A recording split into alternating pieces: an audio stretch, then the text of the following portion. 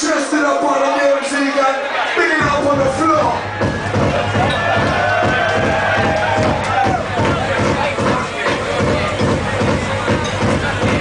Someone